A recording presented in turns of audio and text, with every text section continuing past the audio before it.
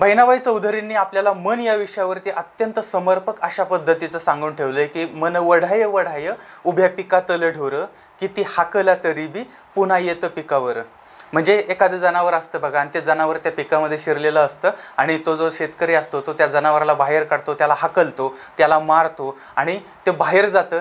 पुन्हा शेतकरी गेल्यानंतर पुन्हा त्या ठिकाणी येतं पुन्हा ते चरायला लागतं पुन्हा शेतकरी बाहेर काढतो पुन्हा चराय बाहेर जातं पुन्हा माघारी येतं चरायला लागतं. किती हाकललं तरीही त्या पिकातनं ते जात नाही. मनसुद्धा अशाच पद्धतीचं असतं. असं बहिणाबाई चौधरींनी सांगून ठेवलं होतं.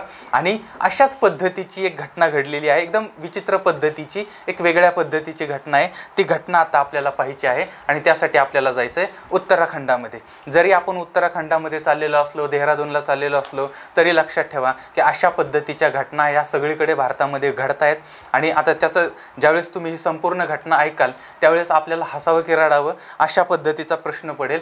असो तर आत्ता आपण चाललोय उत्तराखंड त्यामधलं देहरादून आहे. आणि त्या ठिकाणी सहारनपूर चौक आणि त्या बाजूला एक कवळी रोड आहे. तर त्या बाजूला एक म्हणजे एक घर आहे आणि तिथं राहत आहेत ब्रिजभूषण. आता हे ब्रजभूषण जे आहेत त्यांचं वय साधारणपणे बहात्तर वर्षांचं आहे. म्हणजे ज्येष्ठ नागरिक आहेत रिटायर बिटायर झालेले आहेत आणि आता घरी एकटेच असतात. आता त्यांचा मुलगा आहे अजय अजय गुप्ता. आता हा अजय गुप्ता हा चार करणपूर देहरादून या ठिकाणी राहतोय. याचा अर्थ म्हणजे तो त्याची पत्नी त्याच्या पत्नीचं नाव आहे रेखा. तर मुलगा आणि त्याची पत्नी हे दोघं वेगळे राहत आहेत आणि हे वडील जे आहेत बहात्तर वर्षांचे वडील आहेत ते वेगळे राहत आहेत आता हे बहात्तर वर्षांचे ब्रजभूषण जे आहेत ते सगळ्या आजारांनी त्रस्त आहेत.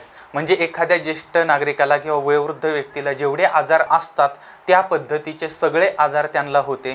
त्यानंतर मग ते दम लागणं धाप लागणं किंवा अगोदरच हार्ट अटॅक वगैरे येऊन गेलेला आहे अशा पद्धतीचे अनेक प्रॉब्लेम त्यांचे होते. आणि त्यामुळे मग आता मुलालाही काळजी वाटत होती पण मुलाचं आणि बापाचं थोडंसं काही जमत नसेल आणि त्यामुळे मग ही मंडळी बाजूला राहत होती. पण त्या मुलानं त्या ठिकाणी वडिलांची सेवा करण्यासाठी एका बाईला सुद्धा कामाला ठेवलेली होती. आणि ती बाई यायची त्यांचा स्वयंपाक बनवायचे त्यांचे कपडे वगैरे धुवायचे साफसफाई करायची सगळ्या गोष्टी त्यांची सेवा शुश्रूषा जे काय आहे ते सगळं ती करत होती. आता तारीख आहे अठरा सप्टेंबर दोन हजार वीसला. सकाळी सकाळी कोणीतरी पाहिलं की या ठिकाणी ब्रजभूषण यांचा खून करण्यात आलेला आहे. त्यांना मारण्यात आलेला आहे. आणि त्यानंतर मग त्या माणसानं त्यांच्या मुलाला कळवलं आणि मग मुलगा त्यांची त्याची पत्नी अशा पद्धतीचे दोघं त्या ठिकाणी आलेले आहेत. आणि मग आता तिथं बघितलं तर त्यांचे दोनही हात बांधलेले होते. म्हणजे सुरुवातीला आता बहात्तर वर्षांचे आहेत म्हणजे असा नैसर्गिक मृत्यू झाला असेल पण हात वगैरे बांधलेले होते. आता हे पाहिल्यानंतर मग त्यांनी पोलिसांना बोलवलेलं आहे. पोलीस त्या ठिकाणी आलेत आणि मग पोलिसांनाही पाहता क्षणी जाणवलं की बाबा यांचे जर हात बांधलेले आहेत याचा अर्थ कोणीतरी यांच्या घरामध्ये संध्याकाळचं रात्रीचं घुसलेलं आहे आणि यांचं तोंड दाबलेलं आहे हात बांधलेले आहेत यांना मारहाण केलेली आहे आणि त्यानंतर यांच्या घरामध्ये चोरी केलेली आहे. अशा पद्धतीचा एक प्राथमिक अंदाज पाहता क्षणी लागत होता किंवा वाटत होता. आणि त्यानंतर मग पोलिसांनी त्या ठिकाणी पंचनामा केलेला आहे. बॉडीचं पोस्टमॉर्टमसाठी आता ती बॉडी पाठवलेली आहे. आता तिकडं बॉडी पोस्टमॉर्टमला पाठवली आणि इकडं मग पोलिसांनी घरच्यांबरोबर ती चर्चा करायला सुरुवात केलेली आहे. त्यावेळेस मग पोलिसांनी त्यांना विचारले की बाबा तुमच्यामध्ये काही जमिनीचा वाद होता का? पैशाचा वाद होता का? संपत्तीचा वाद होता का? किंवा बापलेखांमध्ये असं काही भांडण होतं का? वगैरे वगैरे अशा गोष्टी विचारायला सुरुवात केली. पण सुनेनं किंवा त्यांच्या मुलानं यांनी पोलिसांना सांगितलं की असा कोणताही वाद आमच्यामध्ये नव्हता. फक्त थोडं काय पटत नसेल म्हणून आम्ही वेगळं राहत होतो आणि वाद होऊ नये म्हणून वेगळं राहत होतो. त्यामुळे आणि आई वडला म्हणजे वडिलांना मारण्या इतपत अशा पद्धतीचे तर क्रूर आम्ही नाही होत. आणि मग ते सगळं त्या सासू म्हणजे त्या मुलानं आणि सुनेनं पोलिसांना सांगितलं. आता पोलिसांना शंका येत होती की हे खरं बोलतायत का खोटं बोलतायत? त्यामुळे मग शेजाऱ्या पाजाऱ्यांबरोबर ती पोलीस बोलतायत आणि त्यांच्याकडे चौकशी केली. त्यावेळेस शेजाऱ्या पाजाऱ्यांनी सांगितलं म्हटलं की नाही हे बोलतायत ते खरं आहे. असं कधी यांच्या घरात वाद नाही झाला भांडणं नाही झाली किंवा बापलेकांचे संबंध हे आशेपार वादापुरते तुटण्यापुरते असे नव्हते झालेले. त्यामुळे मग ते बोलतायत ते खरं आहे. आणि ब्रजभूषण जे आहेत ते अत्यंत चांगल्या पद्धतीची व्यक्ती होती असं सुद्धा शेजाऱ्यांनी सांगितलं.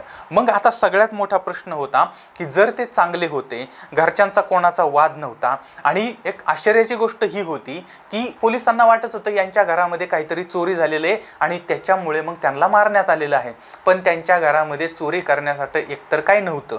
आणि दुसरी गोष्ट चोरी काहीच झालेली नव्हती. सगळं साहित्य सगळं सामान घर वगैरे सगळं व्यवस्थित ठेवण्यात आलेलं होतं.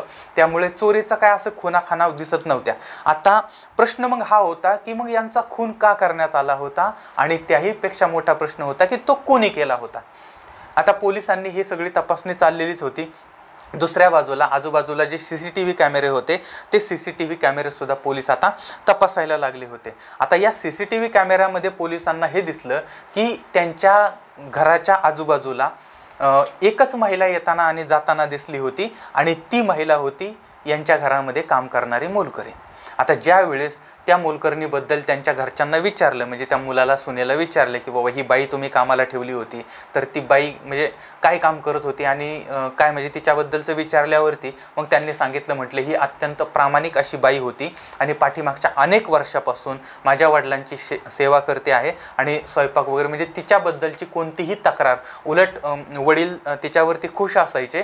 त्यामुळे कोणतीही तक्रार तिच्याबद्दलची नव्हती. अशा पद्धतीची माहिती ही पोलिसांना त्या ठिकाणी देण्यात आलेली आहे.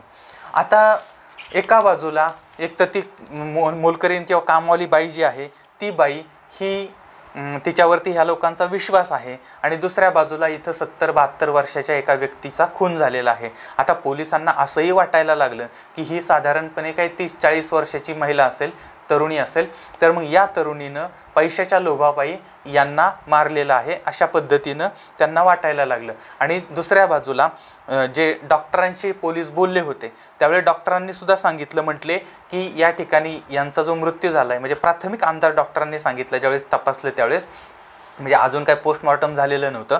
पण डॉक्टर म्हटले की यांचा गळा दाबलाय असं काही जाणवत नाही. गळ्यावरती कोणताही खुना खाना वगैरे असं काही नाही आहे त्यानंतर यांचा श्वास कोंडलाय किंवा उशीनं वगैरे त्यांना दाबले असंही झालेलं नाही आहे त्यानंतर तोंड दाबले वगैरे असंही काही नाही आहे आणि म्हणजे शरीरावरती असं काही कुठं खुना खुणा आहेत जखमा आहेत असं सुद्धा काहीच नाही. आता पोलिसांना प्रश्न होता की एकतर घरामध्ये चोरी झालेली नाही दुसरी गोष्ट यांच्या शरीरावरती किंवा यांना कुठेही अशी जखम झालेली नाही. आणि प्रथमदृष्ट्या वाटते की बाबा अशा पद्धतीनं यांना मारलेलं नाही श्वास कोंडलेला नाही.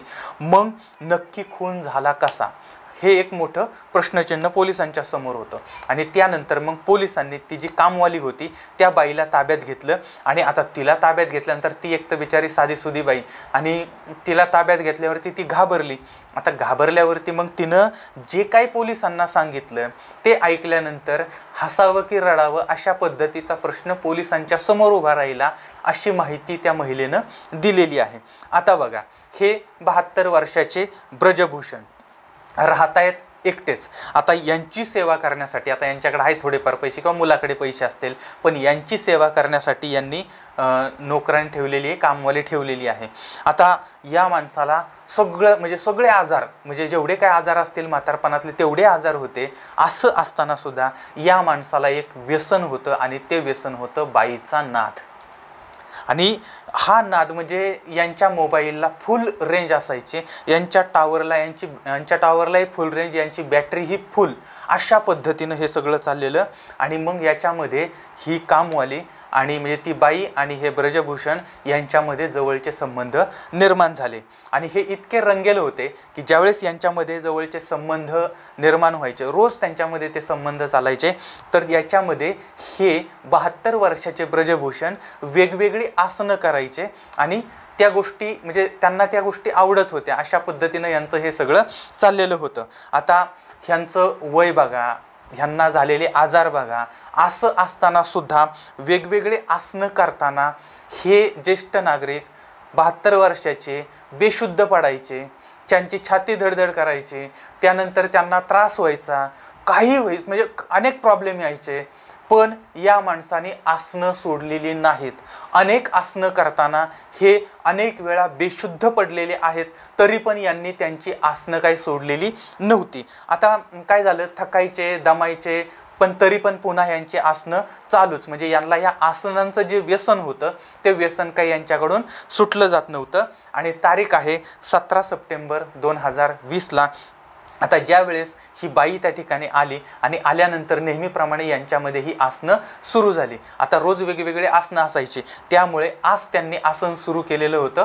ते होतं दो ते त्यांनी म्हणजे त्या ब्रिजभूषण यांनी स्वतःचे हात असे नॉर्मल पद्धतीनं म्हणजे जास्त जकडून नाही पण नॉर्मल पद्धतीनं समोर असे बांधलेले होते आणि हात बांधून यांची आसनं चाललेली होती. आता हा नवीन प्रकार होता स्पेशल प्रकार होता. आता ही आसनं चालू असतानाच नेहमीप्रमाणे हे त्या ठिकाणी बेशुद्ध पडले. आता ते बेशुद्ध पडल्यानंतर आता ही जी बाई होती तिनं ओळखलं म्हटलं हे नेहमीप्रमाणे बेशुद्ध पडलंय. मग त्या बाईनं स्वतःचं सगळं आवरलं घरातलं काय असेल ते आवरलं आणि ती बाई निघून गेली. पण त्या बाईला हे माहीत नव्हतं की हे बेशुद्ध पडलेलं नाही आहे ह्याला हार्ट अटॅक आलेला आहे आणि या हार्ट अटॅकमध्ये ते गेलेलं आहे.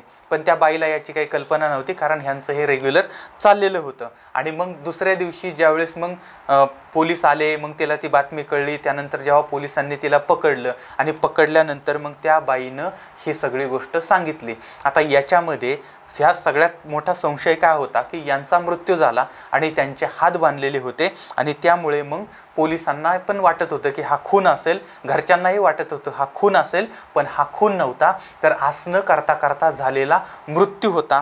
आणि त्यामुळे या सगळ्या गोष्टीवरून एक गोष्ट लक्षात येते की असं नाही की फक्त नव्याच मोबाईलला रेंज येते तर लक्षात घ्या जुने मोबाईलसुद्धा फुल रेंजमध्ये असतात. असो पण या सगळ्यावरून एवढी गोष्ट आम्ही लक्षात ठेवायची आहे आणि ती म्हणजे मन वढाय वढाय उभ्या पिकातलं ढोरं. म्हणजे मनाचा कंट्रोल हा किती महत्त्वाचा असतो ज्याचा मनावरती कंट्रोल असतो ज्याचा शरीरावरती कंट्रोल असतो त्याचाच तोच जगावरती राज्य करू शकतो त्याचाच जगावरती कंट्रोल असू शकतो पण ज्याचा मनावरती आणि शरीरावरती कंट्रोल नाही त्यांची अवस्था अशा पद्धतीची होते ही गोष्ट लक्षात ठेवा. पुन्हा भेटूया पुढच्या भागामध्ये. तोपर्यंत धन्यवाद. जय हिंद. जय महाराष्ट्र.